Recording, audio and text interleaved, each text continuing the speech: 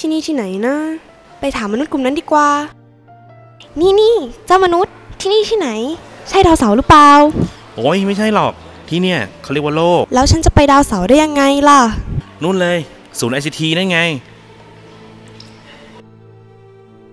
ผู้เฒ่าเต่าจ๋าหมึกน้อยจะไปดาวเสาร์ได้ยังไงจ๊ะ